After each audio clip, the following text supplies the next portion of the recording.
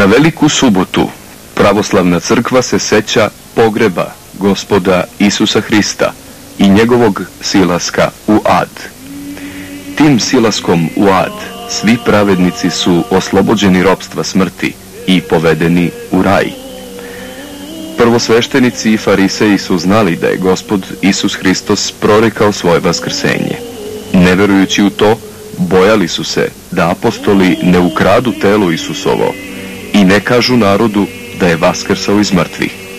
Zato su od Pontija Pilata zamolili vojničku stražu, koju su postavili kod groba, a sam grob su zapečatili i time su dali novu potvrdu istini Hristovog vaskrsenja. Na ovaj dan u Jerusalimu na presvetom grobu gospodnjem u hramu Vaskrsenja Hristovog već 17 vekova dešava se najveće čudo u hrišćanskom svetu, silazak svetog ognja. Za ovu blistavu svetkovinu najpre se izvrši pregled groba Hristovog od strane policije i nepravoslavnih jermenskih i rimokatoličkih predstavnika i uklone svi predmeti koji mogu da izazovu paljenje vatre. Zatim se vrši zapečaćivanje presvetog groba od strane izraelskih vlasti. Time je grob spreman za priziv svetog ognja. Priziv svetog ognja se vrši u ranim popodnevnim časovima. Dolazak patrijarha Jerusalimskog Diodora je praćen svečanom litijom. Patrijarh se donosi na tronu od strane vojnika koji su obučeni u narodnu nošnju. Ispred svetog groba patrijarh silazi sa trona, skidaju svu svečanu odeždu osim stihara i opet se proverava da li ima neko zapaljivo sredstvo. Zatim se dva svežnja od po 33 sveće koje simbolizuju 33 zemaljske godine gospoda Isusa Hrista daju patrijarhu i on ulazi u kapelu u kojoj se nalazi grob gospodnji. Sve ovo se vrši u pratnji predstavnika Jermenske crkve, koji prate sve njegove radnje, da ne bi došlo do prevare. Kao što je nekada narod iščekivao Isusa Hrista, tako sada hodočasnici iščekuju sveti oganj.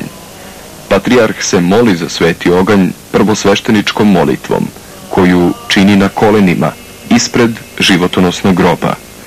Tada iščitava posebne molitve i preklinje gospoda slave, da da svoj sveti oganj kao i prethodnih godina, da pokaže Hristo sveti oganj koji čisti od grehova leči od bolesti. Šta više, preklinje ga da blagoslovi one koji će ga videti i uzeti. Svetlost u plavoj ili beloj boji kreće se kao munja u velikom prostoru hrama svetog groba. Sveti oganj nije statičan, već pokretan. Emituje se tačno kao svetlost blica fotografskog aparata koji osvetljava sve što je pred njim. Kada se pojavi sveti oganj na presvetom grobu, upali se samo sveto kandilo koje se nalazi na mermernoj ploči životonosnog groba i dva svežnja sveća koja drži patrijarh u rukama. Tada se patrijarh poklanja i iznosi sveti oganj iz groba gospodnjeg u kapelu anđela. Prema običaju predaje sveti oganj jermenskom predstavniku. Odmah zatim se daje jedan svežanj sveća sa svetim ognjem arapskom pravoslavnom svešteniku koji ga prenosi u sveti hram Vaskrsenja. Patrijarha nose na ramenima, hodočasnici i odnose ga uz povike oduševljenja u centralni hram Vaskrsenja. Zvona se oglašavaju i vernici pevaju Vaskrslom gospodu himne i slavopojke. Ovim ljudima se proslavlja gospod slave i pojačava se vera ljudi u njega, što je neophodno za njihovo večno spasenje. Sve ovo podsjeća na božansku zapovest, koja se ču na tavoru iz oblačića koji govori Ovo je sin moj voljeni i njega slušajte. Sveti oganj, kaže sveti Grigorije Palama, nije materijalan, već nematerijalna svetlost. Nije osjećajna, već umna i razumna. Po najviše nije jednostavni, obični prizor ili mašta, već realno postoji. Nije oličenje vrline i znanja, već istinska svetlost iznad vrline i znanja. I to zato što je sveti oganj božanski. Boga u suštini niko nije video. Postaje međutim vidljiv u svojim delima kad to sam Bog želi. Sveti oganj u prvih par minuta ne peče, zato što su se u plamenu sveća spojile osobine bestelesne i telesne svetlosti. Vernici prinose sveti oganj šakama, licu, kosi. Umivaju se plamenom. Ali i pored toliko vatre i plamena niko se nije ozledio, ništa se osim sveća i kandila nije zapalilo. Nikad sveti oganj nije prouzrokovao požar. Svi hrišćani mogu da vide svetu svetlost, kao što je videše apostoli na Tavorskoj gori. Treba samo da se za to pripreme po želji Božjoj.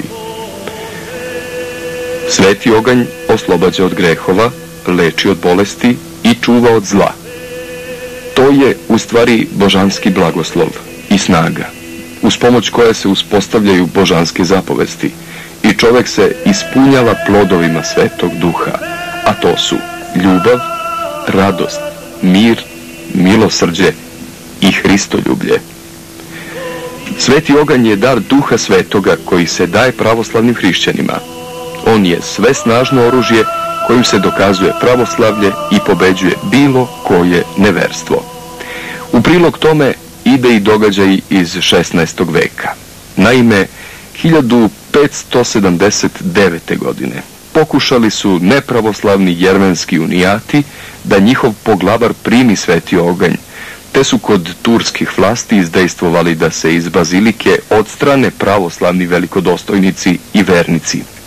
Tako je jerusalimski patrijarh Sofronije morao sa pravoslavnim vernicima da bude ispred zatvorenih vrata hrama, gdje se molio gospodu, nakon čega je posle grmljavine voljom Božjom sveti oganj u vidu groma udario u srednji stub ulaznih vrata hrama i pravoslavnom patrijarhu zapalio sveti oganj. Videvši taj događaj, mnoštvo muslimana je prešlo u pravoslavlje. Od tada, prizivanje svetog ognja opet svake velike subote čini samo Jerusalimski pravoslavni patrijarh, a pukotina na stubu kraj ulaznih vrata hrama stoji kao velika svetinja i podsjeća na ovaj čudesni događaj. Ko želi da vidi Boga, neka ide u Jerusalim da vidi sveti oganj. Mnogi prenose fenjerima sveti oganj iz Jerusalima u svoj zavičaj, tako da i kod nas u manastiru svetog Jovana Krstitelja u Gornjem Matejevcu i u crkvi svetog Pantelejmona na Pantaleju u Kandilima gori sveti oganj. Bogosluženje pravoslavne crkve na Veliku subotu je već pred praznik ili navečer je praznika svetlog Vaskrsenja Hristovog.